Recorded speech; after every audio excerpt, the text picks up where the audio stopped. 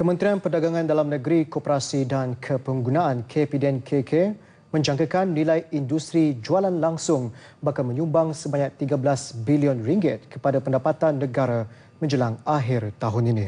Jelas Menterinya Datuk Seri Hamzah Zainuddin, sehingga bulan lepas industri itu mencatat pendapatan sebanyak 10 bilion ringgit dan beliau yakin ia akan terus kukuh dan terus bertahan menyumbang kepada ekonomi negara.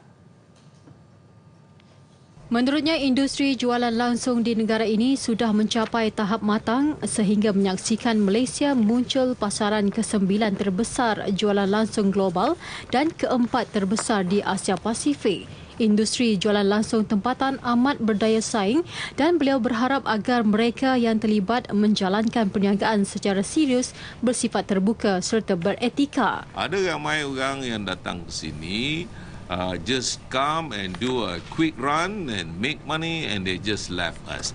And I do not want to see uh, those people yang ada sekarang ini melakukan perkara-perkara tersebut.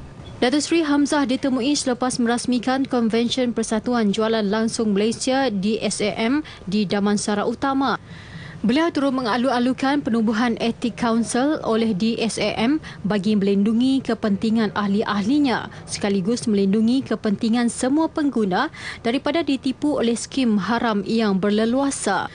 Menurutnya lagi, kerajaan akan mengenakan peraturan bagi memastikan kegunaan teknologi dan internet dalam industri ini turut tidak disalahgunakan pihak tidak bertanggungjawab.